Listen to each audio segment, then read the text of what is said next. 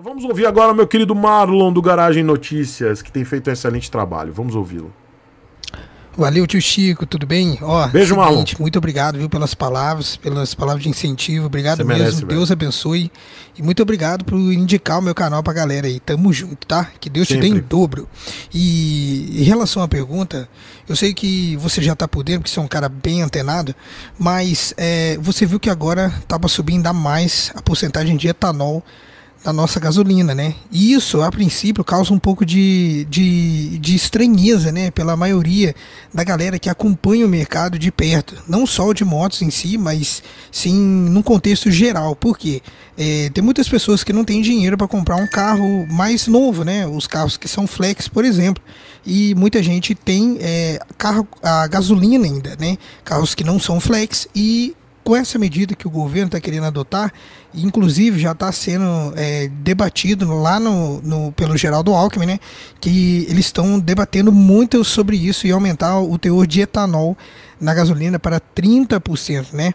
Para quem não sabe, a nossa gasolina tem um, um teor de 27,5% desde 2015 e, portanto, a nossa gasolina né, é, prejudicou várias marcas que queriam vir para o Brasil. Né? Um exemplo disso é a Hero. A Hero que é, é, vigiou o nosso mercado por um tempo, porém, como a, a questão do combustível era um empecilho na época, impediu que a Hero viesse para o Brasil há uns dois anos e meio atrás, mais ou menos se eu não estou enganado, né? Dois, dois anos e meio a dois anos atrás. Porém, agora a Bajaj veio e a Hero aparentemente está olhando para o Brasil de novo. Né? Mas se a gente parar para pensar, as principais beneficiadas com isso tudo seriam a Honda e a Yamaha, porque as duas têm a tecnologia flex aqui no Brasil, né? E as marcas que estão chegando, por enquanto não, somente a gasolina. Então, isso não me surpreenderia, afinal não estou afirmando nada, tá? Mas isso não me surpreenderia se não fosse alguma pressão da Honda e da Yamaha em cima do governo para aumentar o teor de etanol, para meio que meio que se defender sobre a concorrência externa que esteja chegando aqui no Brasil. Você não acha que é um pouco assim, é, uma coincidência um pouco meteórica para que bem, na, bem no tempo que está chegando concorrência dinâmica no nosso mercado, que finalmente estamos vendo uma luz no fim do túnel, o governo agora resolve adotar essa medida, aumentar o teor de etanol para 30%. Você não acha isso um pouco estranho? Beleza, tio Chico? Fica com Deus aí, obrigado, tamo junto. Mando meu beijo e novamente parabenizo Marlon por você estar tá fazendo um trabalho excelente. Eu sei que você faz um trabalho, você está batalhando diariamente, né? E eu recomendo a todos os meus inscritos seguirem o canal Garagem Notícias, tá? O, do meu querido Marlon. Tá fazendo um trabalho lindo, trabalho todo dia. Ele faz live todo dia, tá, gente? O Marlon tá fazendo live todo dia, ele faz live, eu acho que duas horinhas antes do meu canal, acho que oito horas ele começa a live. Vão lá, assistam a live do Marlon, do, do Garagem Notícias, vale a pena. Ele tem, ele tem uma linha de raciocínio muito boa, é um cara que tá batalhando aqui. Então, tem meu apoio, tem meu carinho e um canal que faz parte do coro aqui para poder fazer você ter mais consciência na hora de comprar moto, tá bom? Garagem Notícias. Cara, vamos lá. Eu obrigado pela sua explanação aí. Não, eu não acho que seja uma pressão das binárias. É minha opinião mesmo, eu não acho que seja, porque as binárias elas, elas pressionam o governo para, um, para manter o protecionismo de outra forma. Essa questão da adição do etanol anidro é, no combustível prejudica. Prejudica todas as montadoras, inclusive Honda e Yamaha. E prejudica muito, porque aumenta o custo operacional deles. Por quê? Tudo bem que 90% dos, das vendas da Honda é, são as motos de baixa cilindrada. Né? Ela vende muito mais moto flex do que motos somente a gasolina. Mas ela tem muitas motos que também são vendidas que são somente a gasolina.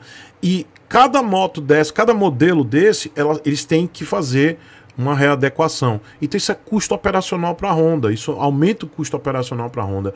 Por mais que pense, tá, mas eles vão ganhar nesse favorecimento das motos. Tá, mas eles ganham por um lado, que tudo bem, é a maior parte da venda, mas por outro lado eles também perdem, porque pode gerar problemas é, tanto nas motos que já foram vendidas, quanto nas motos que serão é, homologadas. Isso, isso, isso é problema, isso é custo para todas as montadoras, isso é dor de cabeça. Isso não é legal para todas, tá?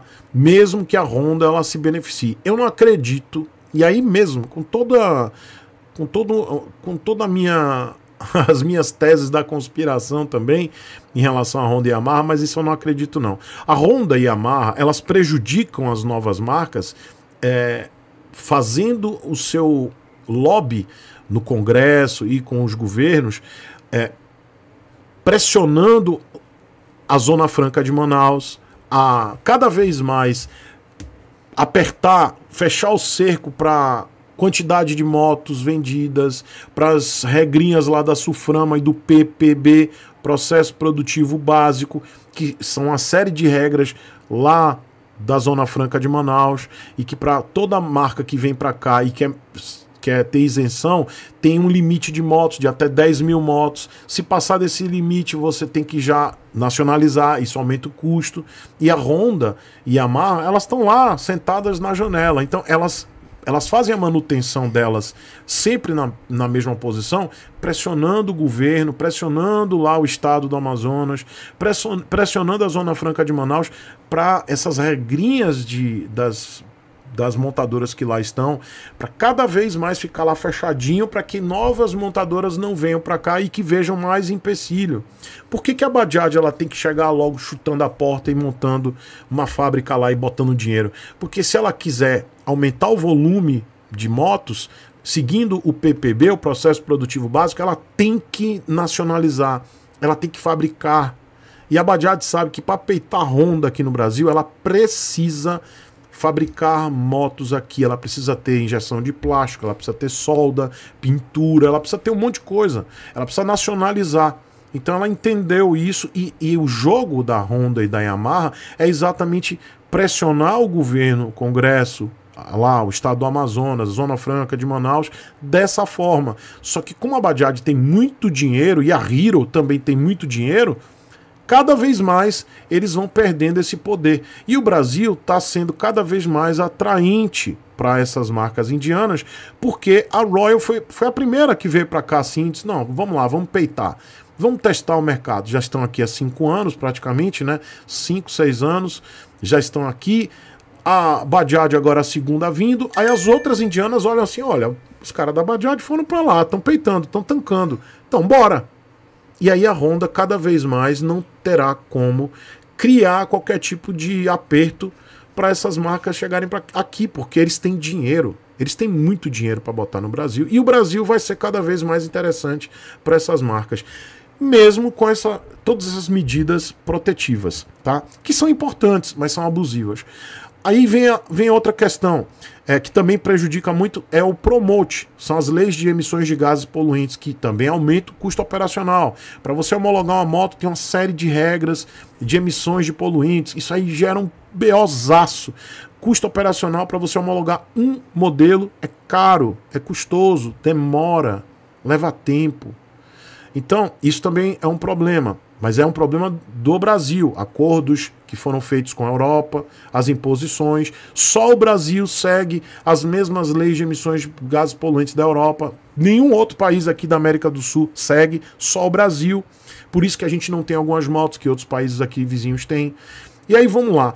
Isso é típico deste governo do partido do PT. É bem típico. E eu não estou falando isso é, de forma ideológica, tá? Não, tô, não estou falando, não, mas eu estou falando como cidadão e como eu já observei no decorrer do, dos outros governos do PT. Isso é típico do governo de, do PT de seguir uma agenda ESG, que é a tal agenda sustentável. Só que é uma agenda sustentável que não é sustentável, porque quando você tenta tirar carbono e compensar com etanol, com biocombustível, para você plantar, para você plantar um canavial lá, você acaba não compensando tanto. Enfim, tem várias teses dizendo que é, não é tão sustentável assim, tá? Mas principalmente para beneficiar os usineiros. Então tem todo um esquema para beneficiar os usineiros, porque não existe nenhum tipo de vantagem hoje de você usar o etanol junto com a gasolina. Só prejudica, principalmente os motores de hoje que, são, é, que não são flex. Isso prejudica muito. Se nós tivéssemos só um veículo, vamos dar um exemplo. Existem, existem estudos de veículos é, a etanol no futuro com motores elétricos. Tem vários estudos aí para transformar, para que se utilize um biocombustível, como o etanol, é, mas com motor elétrico. Então, tem vários estudos para isso. Poxa, num caso desse seria interessante. Mas você obrigatoriamente colocar uma gasolina com etanol anidro com 30% e você não dá opção do cara chegar e dizer: Eu não quero assim. Eu quero uma gasolina acessível, mas eu não quero. Então me dá uma gasolina normal, no preço normal. O, do, o com etanol é mais barato. E aí eu tenho uma Octa Pro, que é que tem alta octanagem, mas aqui no Brasil não tem isso. Então, tem esquema envolvido. Tem, tem interesses políticos e financeiros envolvidos. Essa é a minha visão. Porque não tem nada de ESG, não tem nada para salvar bichinho da floresta. É simplesmente típico do governo do PT. Tá? Sempre foi assim. Não estou falando de, é, é, de ideologia, tá, gente? Não tem nada de ideologia política, mas é típico do governo do PT. Se fosse um governo de um, de uma, de um viés diferente, é, que não fosse o viés do PT, talvez é, isso nem fosse cogitado. Talvez isso nem fosse cogitado. Mas para beneficiar, isso não é. Tá? Não é para beneficiar a população, não vai, não, só vai prejudicar Muitos motores vão para o saco, muitas montadoras vão ter que gastar mais. Isso pode gerar um aumento no, no custo operacional e eles vão passar isso para a gente. Aumenta o custo operacional das montadoras, eles passam isso para a gente. Então, qual a vantagem para os usineiros, para os governadores do, do, da, da situação? Então, para mim, isso nada mais é do que uma questão política. Não tem nada para salvar o bichinho da floresta tá bom? E as, as pessoas que têm motores a gasolina, muita atenção, muito cuidado. Quem tem moto com motor a gasolina, eu recomendo, quando houver essa mudança, não botem gasolina comum.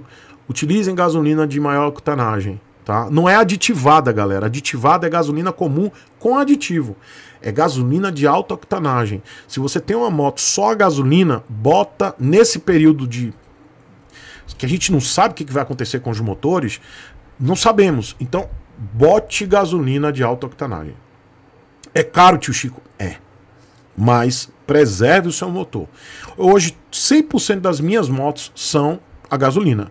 Então, todas elas eu só vou, eu só vou botar gasolina de alta octanagem. Eu não vou. Gasolina premium, né? Aquela gasolina Octa Pro, não sei o que, grid. Só vou botar isso. Por quê? Porque eu não vou me arriscar a botar uma gasolina com 30% de etanol. Eu não sei o que, vai acontecer, principalmente motores da Royal, que já batem pino com 27,5. Imagina com 30. Então não vou, por mais que a Royal. Aí, aí a gente tem que entender. O que, que a Royal vai fazer? Vai chamar de novo a galera para remapear? Não sei. Vai dar o soda se vai ficar por isso. Vamos ter um monte de, de moto dando pipoco de novo. Vai voltar. Os problemas aí de Himalaia, vai voltar tudo. Por quê? Culpa da Royal? Não, não é culpa da Royal. A culpa é do governo, que faz isso assim, ó, e não dá opção. Tipo, você vai ter que pagar mais caro mesmo, dane-se. E ninguém faz nada. Entendeu? Você tem uma Harley Davidson. Harley, eu uso gasolina comum. Já é complicado, tá? Não vou mais. Eu vou botar gasolina Octa Pro, grid, o baralho. Então você, amiguinho, tem moto importada, tem moto só gasolina, bota Octa Pro, bota de alta octanagem, porque o bicho vai pegar. Até a gente entender como as montadoras de moto vão proceder, se vão fazer um recall para dizer assim, ó, traz para cá que a gente remapeia, ou, ó, amiguinho, dane-se. Já tá com seu BO aí, e aí é isso aí, dane-se. Ou quem tiver condição, leva para um remap, para um, uma pessoa ou para uma empresa remapear a moto. É uma possibilidade também. Então, este é o momento de aguardar, observar esperar os mecânicos darem um. Eu vou trazer o China para cá, como eu falei, vou trazer o professor China para cá, para ele dizer qual o impacto disso. Não, com certeza não é coisa boa. Qual o impacto disso? As montadoras vão dizer assim: não, tem uma margem. Vai nessa. Vai nessa de ter uma margem. Eu não acredito. Eu não confio. Olha, a minha Himalaia já bate pino normal. Tá? Melhorou, mas bate pino. Então quando eu boto um Octa Pro, já melhora. Imagine se eu botar com 30% de etanol, aí danou-se. Entendeu? Então, não recomendo, tá, galera? Até entender qual será o posicionamento das montadoras, tá? Beijo, Marlon.